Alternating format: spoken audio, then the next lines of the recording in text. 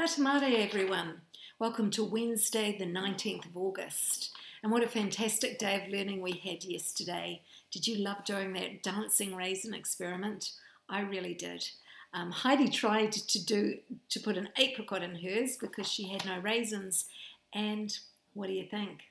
It didn't work. I wonder why a raisin works and an apricot doesn't. Good on you, Heidi, for trying. Some of you got warm fuzzy stickers yesterday, so pai, keep trying for those and see how many warm fuzzy stickers you can collect over lockdown. I might have said certificates, I mean stickers. Um, right, we're going to get started today, and the first thing we're going to look at is my picture in the background. And today I thought we'd just have a little think about animals that dance. Do you think animals dance? Remember we read that story about the giraffe who danced?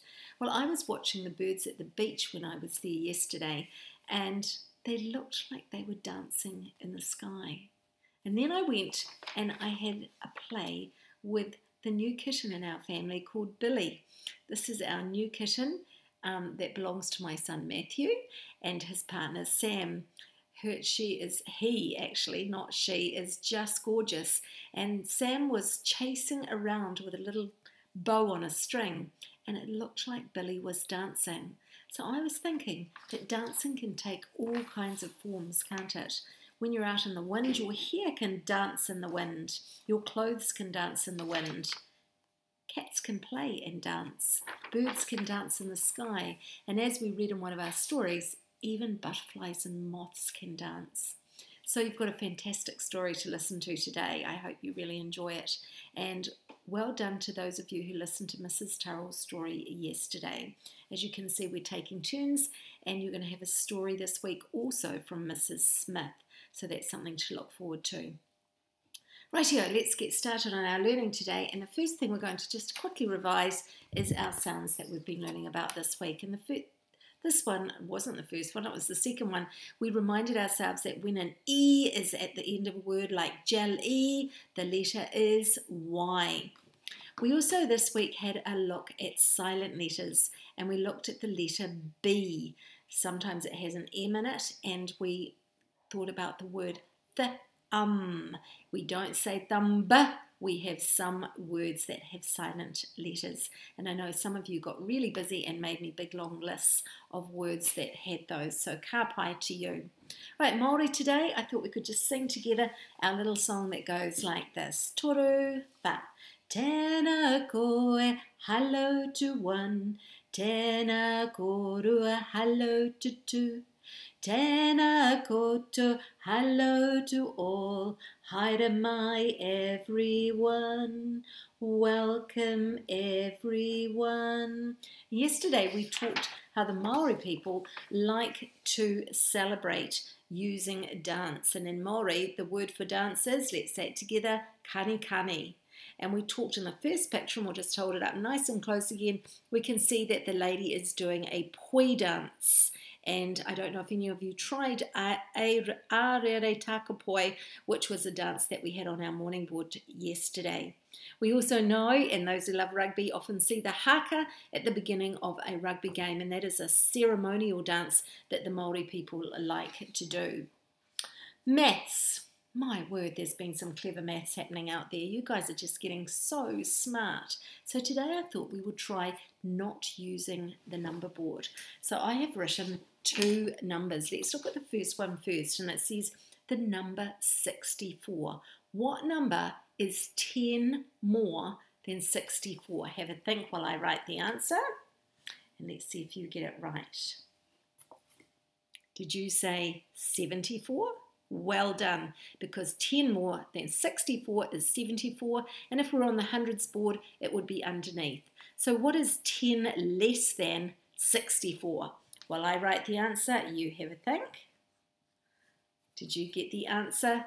54. If you did, ka pai, well done. Right, this time we're going to look at a three-digit number. See if you can read that number with me. It says 358. Now the first one says we have to add 10 more. So which column is the tens column? We know that it's this one, so we're going to add one more in there while I write the answer. You see if you can think of the answer. And kapai to you if you got 368. The next one says, what is 100 more than this answer? So let's see what the columns are. This is ones, tens, hundreds. So we're going to add one more to this one. While I write the answer, you try and write your, think about your answer. Did you get the number 458? So well done. There's a really cool um, splat splat hundreds board that I've put up online um, on one of the morning boards. You might be have tried using that. That's a lot of fun where you splat the numbers. So see if you can have a look for that. I bet you're waiting for a joke. Is that what you're waiting for? Okay, today's joke is really funny. Here it goes. How do you know if carrots are good for your eyesight? So you'll hear people say, eat your carrots. Your eyes will be strong if you eat your carrots. So how do you know if carrots are good for your eyesight? And there's a rabbit eating carrots. We know rabbits like carrots. And here is the answer. Have you ever seen a rabbit wearing glasses? I certainly haven't seen a rabbit wearing glasses. I thought that was quite funny.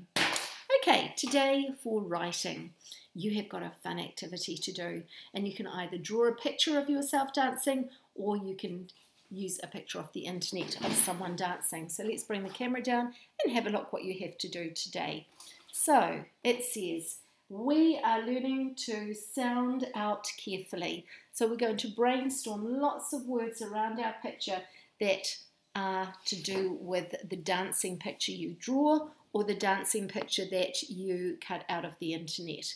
So let's have a look at the words Mrs. Craig's done. Dancing, smiley, because I thought the girl was smiley. An E at the end of a word is a Y. I said that she had to concentrate. There was music. You have to use rhythm when you dance. Her dress was scarlet red. Her dress was swirly, and again, there's another one that has E sound, but it's a Y at the end. She had pointed shoes. Her dress was float E. Here's another one. And it looks like here she is reaching. So you're going to write any words that come to mind. You might have a scarf on your picture, so you might write scarf, or you might have a bow in your hair, so you might write bow. Remember, a brainstorm is any word that you think of. So have a think about that and enjoy doing those activities today. I look forward to seeing your work coming through, and I wonder who's going to get a warm stick, warm fuzzy sticker for extra effort today. Haere everyone. Have a fantastic day.